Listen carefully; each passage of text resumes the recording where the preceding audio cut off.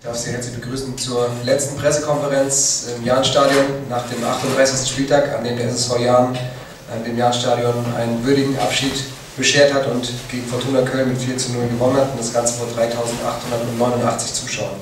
Ich begrüße bei mir die beiden Cheftrainer, Uwe Koschinat und unseren Cheftrainer Christian Brandt und bitte den Gästecoach und sein Statement zu dem heutigen Spiel. Ja, schönen guten Tag. Ich glaube, dass wir heute wirklich alles getan haben, um zum einen meinem Kollegen, deswegen von uns allen nochmal herzlichen Glückwunsch zum Geburtstag, ein, wirklich äh, schönes Geburtstagsgeschenk zu machen. Zum Zweiten, glaube ich, haben wir auch alles dafür getan als, als Gast, um heute hier an diesem ja schon irgendwo denkwürdigen Tag für, für Jan Regensburg mit der Verabschiedung aus dem Stadion, dass wir alles dafür getan haben, dass das auch ein, ein netter Tag für alle wird, die dem, dem Jan irgendwo äh, die Daumen drücken ja, am Ende muss ich mir das als Verantwortlicher, als Hauptverantwortlicher im Verein für das Sportliche natürlich ein Stück weit selbst ankreiden.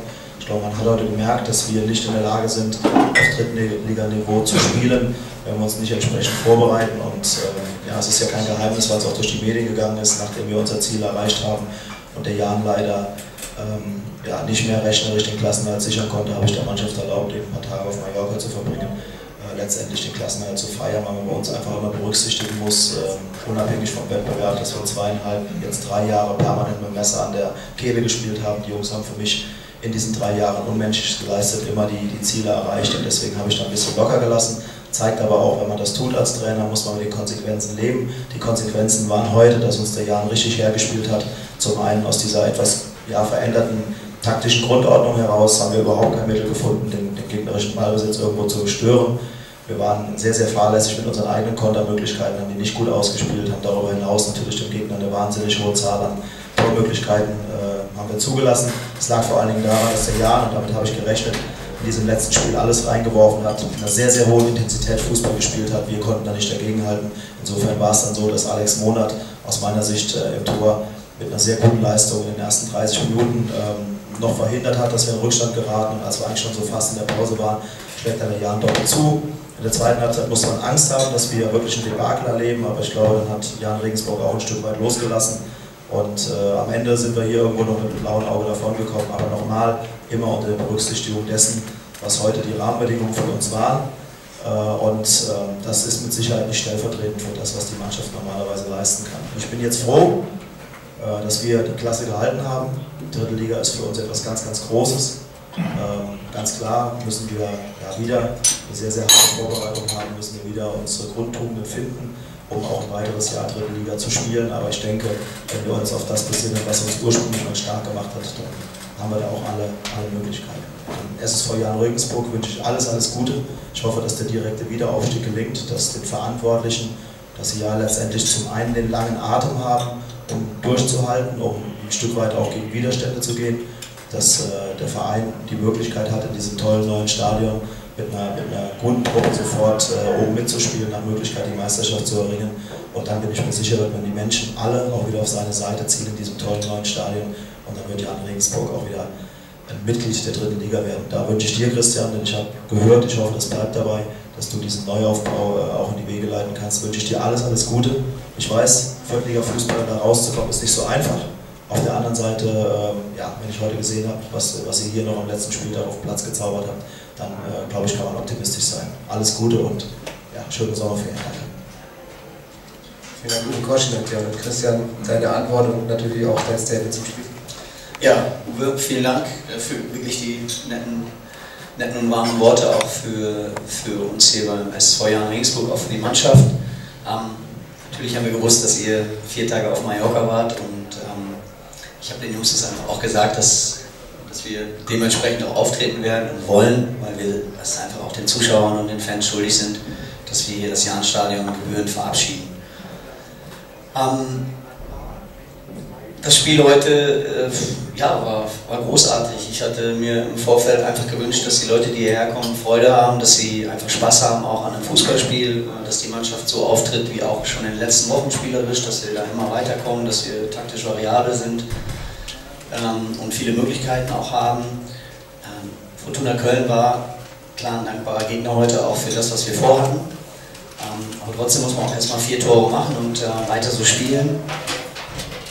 Von daher bin ich natürlich mit dem, mit dem Spielverlauf zufrieden und ähm, ich habe auch in so einem Spiel, auch wenn es das letzte Spiel der Saison ist, ganz, ganz wichtige Erkenntnisse gewonnen über die Mannschaft, über den Charakter, über die Art und Weise, wie die Jungs sich präsentiert haben. Und klar, wir sind abgestiegen, das ist sportlich natürlich bitter, aber ich ziehe einfach den Hut vor, vor diesen Jungs, die wirklich auch eine wirklich schwierige Zeit hatten, dass sie sich in keiner Phase der Saison, also zumindest nachdem ich hergekommen bin ab dem Winter, dass sie sich nie haben hängen lassen, dass es unglaublich schwierig war, äh, wenn das Fallball immer am Genick ist. Es gab viele Möglichkeiten für uns, immer wieder einen Anschluss zu schaffen. Das haben wir zwischendurch mal geschafft, dann mal wieder nicht.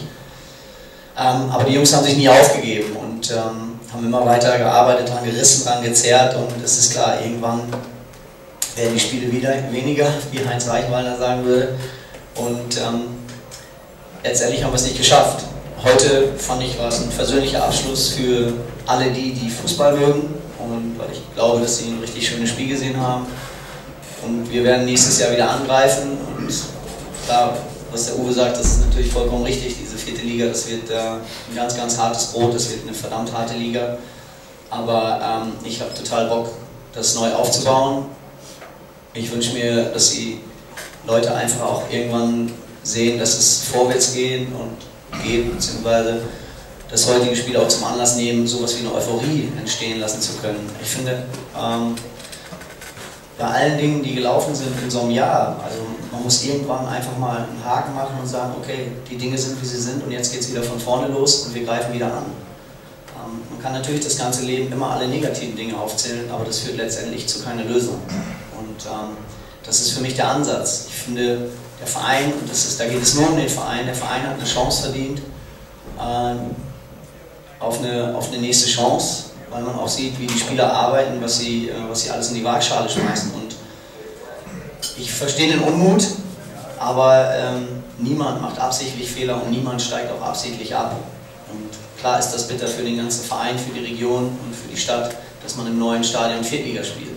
Aber es geht doch irgendwie im Leben auch darum, dass man den Leuten und den Menschen Freude bereitet, dass man mit Herzblut dabei ist und ich kann einfach nur von meiner Seite sagen, ähm, dass die Jungs hier alles reingehauen haben während des halben Jahres und dass sie das auch ab dem 16. Juni, wenn es wieder losgeht, auch wieder machen werden. Und was ich einfach nur möchte, ist, dass die Jungs und alle, die hier da mitarbeiten, einfach eine faire Chance erhalten.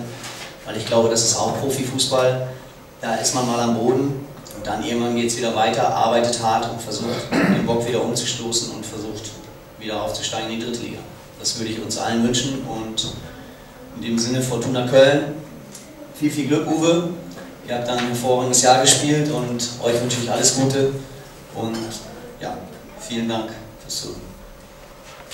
Danke Christian, dann folgen jetzt natürlich noch die Fragen der Journalisten. Bitte ich um kurzes Handzeichen, dass wir das Mikro reichen können. Jürgen Schaaf von der Mittelbayerischen Zeitung beginnt. Nur eine Frage an Herrn Brandt. Äh, wie ist der Marschplan? Ist heute sofort Schluss beim Jahren? Werden die ganzen Spiele ausgeräumt? Und was geben Sie den Spielern für die dreieinhalb Wochen, glaube ich, Pause, die jetzt sind, mit auf den Weg? Geht es darum, den Kopf komplett frei zu bekommen oder sich auch ein bisschen fit zu halten? Nein, nein, also wir haben morgen ein Mannschaftsessen mit allen Spielern auch, die den Verein verlassen. Dann haben wir Trainingspläne ausgearbeitet, ganz normal. Ähm, wir werden am 16. Juni anfangen mit der Vorbereitung. Die Jungs haben ungefähr sieben bis zehn Tage Pause und dann geht es auch schon wieder los. Wir müssen so früh es geht wieder anfangen, hart zu arbeiten und ähm, wir sind vorbereitet und werden uns dementsprechend verhalten. Okay, Jürgen, gibt es weitere Fragen? Armin Wolf, Charivan. Herr Brandt, grundsätzlich mal auch von unserer Seite alles Gute zum Geburtstag. Dankeschön. Und wie sieht es denn aus? Wird man einen Großteil der Mannschaft, die heute gespielt hat, auch im nächsten Jahr irgendwie anderes sehen? Wie ist die Tendenz? Wie planen Sie? Ähm, die Jungs, die heute auf dem Feld waren, von denen würde ich gerne einen Großteil übernehmen. Es laufen Gespräche im Hintergrund. Viele von den Jungs haben äh, Angebote und äh, also auch vom Jahren vorliegen und sie wissen auch, wie wir planen. Und äh, von daher äh, warten wir einfach auch darauf, wie die Mannschaft sich ja, zusammenstellt und wir sind im Hintergrund ziemlich emsig tätig und versuchen eine starke Mannschaft aufs Feld zu kriegen.